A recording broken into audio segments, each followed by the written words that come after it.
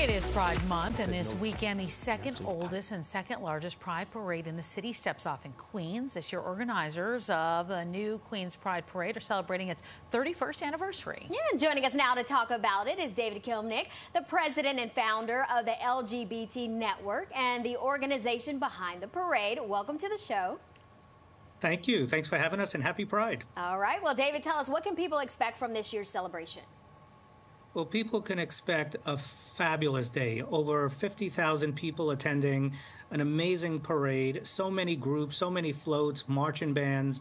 Uh, we have about two dozen schools marching also. Um, it, it's just going to be, it's, it's the most diverse parade in the most diverse borough um, in the entire world.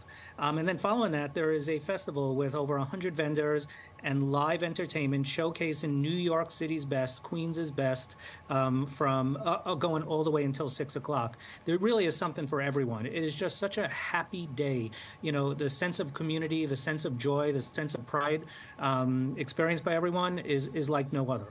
Well, let me ask you, is there anything new that happening this year that hasn't happened in years past?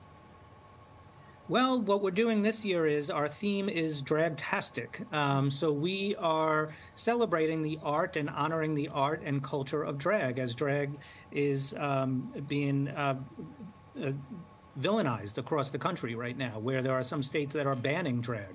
Um, and we're going the opposite way. We're celebrating it. It's going to be out front.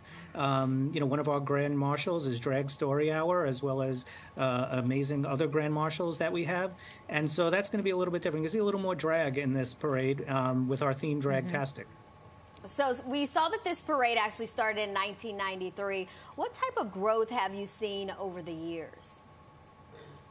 You know, I think in the 31 years since Queen's Pride started, um, is that you know we've seen a lot more diversity um, in the event um, and diversity in every sense of the every sense of the word. So within the LGBTQ community, with people of color, immigrant communities, with allies and straight folks getting involved, um, elected officials, corporations, organizations, PIX um, as one of our media sponsors, and so we've really seen the entire community come together, um, not just LGBTQ, to come out and be a part of Pride because you know what, Pride is for everyone.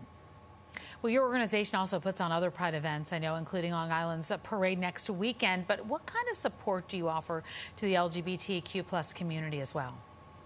Well, thank you. Yeah, Pride is one of the things we do, yeah. uh, but we have LGBTQ community centers in Astoria and three out on Long Island. We're also out in the community providing health, education, advocacy, um, mental health support, group support, um, and also we do we have a business program in Long Island LGBT Chamber of Commerce as well. So we pretty much get out into the community. We have our community centers that mm-hmm. offer programs and services, but we make sure that we're present throughout the entire borough, throughout the entire borough of Queens, all the way to Far Rockaway, where I was born and grew up, um, and certainly all over Long Island. You know, because our goal is to create safer spaces where LGBTQ people live, learn, work, play, and pray, and that's everywhere. Mm-hmm. All right. Well, David, thank you so much for joining us today, and happy Pride. Thank you. Happy Pride. All right. Well, Pix 11 is a proud sponsor of the new Queens Pride Parade and Festival. If you'd like to attend, the celebration is this Sunday from noon until 6 p.m. The parade goes down 37th Avenue from 89th Street in Jackson Heights to 75th Street. And you can find all this information you need at the newqueenspride.org. And all month long, Pix 11 will be highlighting as well as honoring the impacts of the LGBTQ plus community. You can check out our special coverage on our website at pix11.com slash pride.